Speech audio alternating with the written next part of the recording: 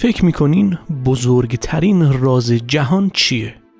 از نظر علمی بزرگترین راز کیهان ماده تاریکه. اینطور فرض میشه ماده تاریک شکلی از ماده است که قابل مشاهده نیست. با وجود اینکه این ماده نامرئیه اما نقش اساسی توی مدل‌های متخصصان از جهان داره. در اصل الگوهای حرکتی اساسی مواد مرئی که توی جهان می‌بینیم فقط با حضور این نیروی نامرئی توضیح داده میشن. تو ویدئوی امروز بررسی می‌کنیم که ماده تاریک چیه؟ نظریه های مختلف رو در موردش بحث می‌کنیم و وضعیت دانش الانمون رو در مورد این ماده مرموز پوشش میدیم.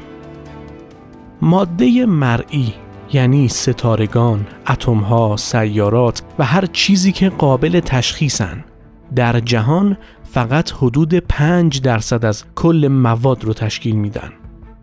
توی یکی از مقالات ناسا اینطور نوشته که حدود 68 درصد از جهان رو انرژی تاریک تشکیل داده 27 درصدش رو ماده تاریک و اون 5 درصد باقی مونده رو هم ماده معمولی با اینکه بیشتر جهان رو انرژی تاریک پوشونده اما دانشمندان نمی‌تونن اثباتش کنن. چون این ماده و انرژی با نور تعامل نداره. پس از کجا می‌دونیم که اصلا وجود داره؟ از تاثیراتی که این ماده و انرژی بر جهان می‌ذاره میشه فهمید باید چیزی وجود داشته باشه که ما نمیبینیمش. به بیان ساده تر میشه گفت. دانشمندان می‌بینن یک گرانش کهکشانها رو در کیهان در یک ثبات نگه داشته. اجرام کیهانی همگیشون با یک انرژی پیش هم نگه داشته شدن و حتی انبساط جهان هم خودش داره توسط یک انرژی شدت می‌گیره. در نتیجه باید شکل دیگه ای از ماده توی جهان پخش شده باشه که این گرانش رو شکل بده. اما منبع این انرژی مشخص نیست چون دیده نمیشه.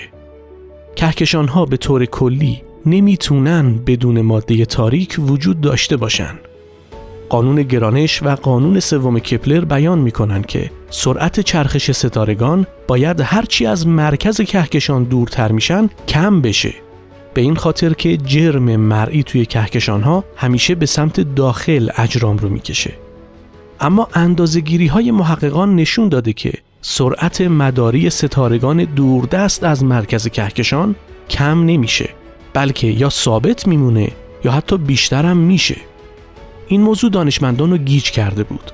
چون با قوانینی که داشتن جور در نمیومد نشون می‌داد که در کیهان به جز ستارگان و قبار کیهانی و چیزهایی که می‌شناسیم باید یک نوع ماده دیگه هم باشه که همون ماده تاریکه. با وجود این تأثیرات قابل تشخیصی که ماده تاریک روی ساختارهای جهان اعمال می‌کنه وجودش هنوز اثبات نشده. به خاطر همین چون مدل‌های وجودی کهکشانها بدون این نیروی مرموز نامرئی قابل توضیح نیستن باید شکل فرضی از ماده که همون ماده تاریک رو در نظر گرفت. ماده تاریک در تمام مدل‌های کیهانی فرض میشه و پذیرفته شده است اگرچه نه اثبات شده و نه دیده میشه. تاریخچه تحقیقات دانشی که ما در مورد ماده تاریک داریم به یک تاریخ طولانی از تحقیقات برمیگرده اوایل دهه 1930 ستاره شناس سوئیسی فریتز زویکی مشاهده کرد که خوشه کما که از بیش از هزار کهکشان تشکیل شده احتمالا نمی‌تونه توسط نیروهای گرانشی اجزای اون خوشه کنار هم نگه داشته بشن. زویکی توی یکی از تحقیقاتش این نکته رو متوجه شد و به این موضوع پی برد که برای این پیوند گرانشی خوشه کهکشانی باید 400 برابر ماده‌ای که اونجا می‌بینه چیزی وجود داشته باشه. پس این فرضیه رو به وجود آورد که احتمالا یک جرمی از اون خوشه یا گم شده یا همون ماده تاریکه اما این موضوع در اون زمان توسط اکثر متخصصان و کارشناسان رد شد چند سال بعدش ستاره شناس استرالیایی کن فریمن تشخیص داد که گازهای کیهانی در فاصله های دوردست با همون سرعتی دارن حرکت می‌کنن که گازهای داخل کهکشان ها حرکت می‌کنن. اما نباید اینطوری می بود چون یکی از های رایج کیهانی این بود که در مرکز ها اجرام بیشتری وجود داره پس تراکم و گرانش بیشتره. حالا در مناطق دور از مرکز کهکشان باید سرعت ستارگان کمتر باشه چون نیروی کمی وادارشون می‌کنه با سرعت بچرخن تو دهه 1960 کارشناسی به نام ورا روبین تشخیص داد که سرعت چرخش ستارگان در مناطق دور از مرکز کهکشان خیلی بیشتر از مدل‌های پیش بینی شده است. بعد از تشخیص ورا روبین بود که فرضیه وجود ماده تاریک توسط بقیه اعضای جامعه علمی جدی گرفته شد. در نتیجه بررسی های خوشه های کهکشانی بزرگ این نظریه رو بیشتر تایید می کردن. ستاره شناس های دیگه هم تشخیص دادند که غلظت جرم کهکشان ها و کیهان نمی‌تونه توسط ماده مرئی تولید شده باشه. تلاش برای اثبات ماده تاریک از اونجایی که ماده تاریک هنوز فقط یک شکل فرضی از ماده است متخصصان دارن تلاش می‌کنن تا مستقیما وجود این نیروی نامرئی رو اثبات کنند. برای اثبات این کار هم دانشمندان از رویکردهای متفاوتی استفاده می‌کنن. مثلا بعضی از محققان این احتمال رو میدن که به اصطلاح ذرات سنگین با برهم کنش ضعیف بلوک های اصلی ماده تاریک رو تشکیل میدن. برای اثبات این ادعا هم بعضی از دانشمندان در یک آزمایشگاه زیرزمینی تو ایتالیا به نام گراند ساسو دارن تحقیقاتشون رو انجام میدن. چون این منطقه زیرزمینی واسه این کار مناسبه و محققان می‌تونن بدون تاثیر پرتوهای کیهانی آزمایش کنن. کارشناسان تو این آزمایشگاه به بررسی میزان ارتباط تحریک فوتون با ایجاد همزمان فوتون ها می‌پردازن. اما تشخیص فوتون تنها روشی نیست که دانشمندان دارند برای مطالعه ماده تاریک استفاده می‌کنن.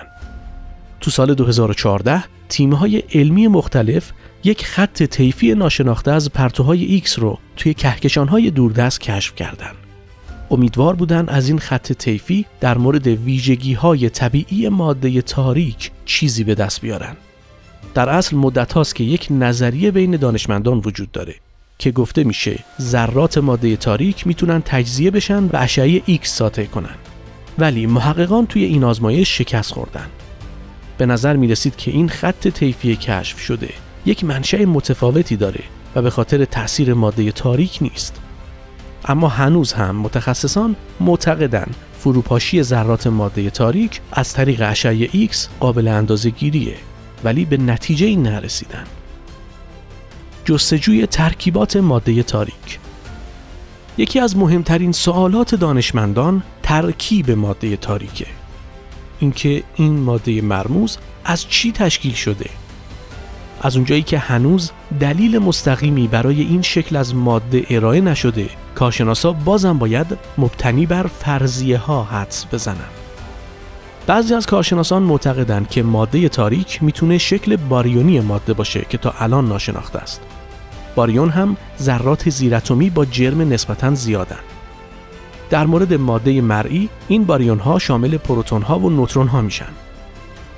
یک تز در مورد ماده تاریک باریونی. میگه باید ماهیت ماده تاریک رو در گازهای سرد کیهانی جستجو کرد. از اونجایی که گازهای داغ کیهان از خودشون تابش ساطع می‌کنن.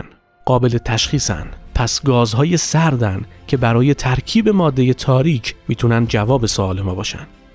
اما باز هم یک مشکل وجود داره. اینکه گازهای سرد می‌تونن تحت شرایط خاصی گرم بشن. به هر حال ابرهای قبار سرد در بین نامزدهای احتمالی ترکیب ماده تاریکن.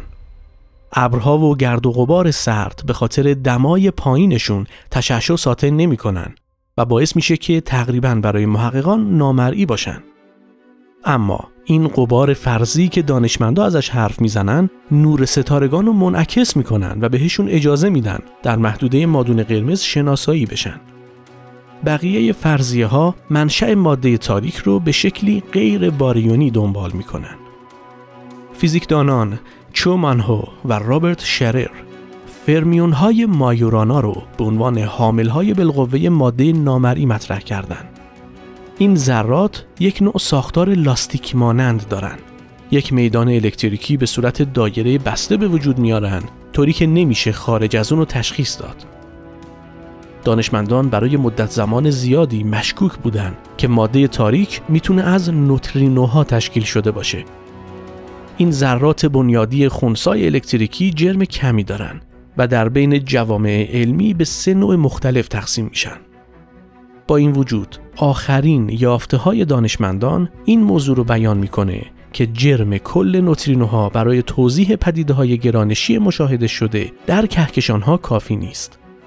دانشمندان راه های مختلفی رو آزمایش می‌کنن تا بتونن ساختار و منشأ ماده تاریک رو کشف کنن اما هنوز به نتیجه نرسیدن. ماده تاریک و انرژی تاریک. بزرگترین راز کیهانن که امیدواریم یک روز بفهمیم چه چیزی بیشتر مواد نامرئی تاریک کیهانی رو تشکیل داده. امیدوارم از تماشای این ویدیو لذت برده باشید. به امید دیدار در ویدئوی بعد.